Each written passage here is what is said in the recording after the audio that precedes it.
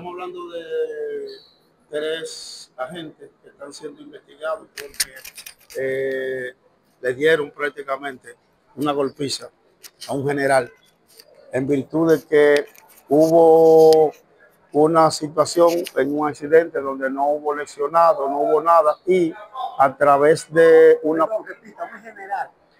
sí, un general de la policía retirado.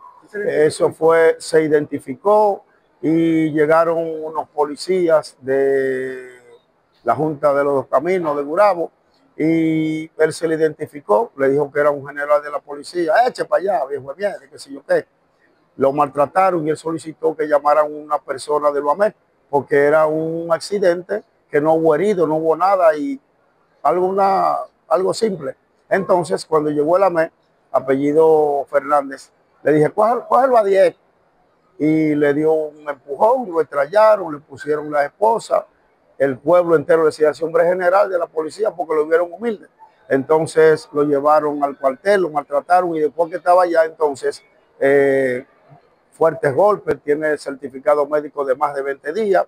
Eh, no encontraban ni qué hacer porque al requisar el vehículo encontraron que él tenía armas como general de la policía y en esas atenciones procedió hacer lo que hacen todos los ciudadanos,